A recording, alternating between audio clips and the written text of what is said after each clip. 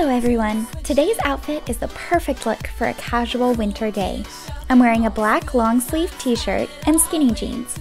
I kept myself cozy with this black puffy jacket with a fur lined hood. I'm also wearing a dark gray beanie, purple crystal necklace, blue heathered knee socks, and tan lace combat boots. This outfit keeps me nice and warm while still maintaining shape and style. If you like this outfit, give it a thumbs up make sure you're subscribed so you can see more in the future. Thanks so much for watching, and we'll chat again soon.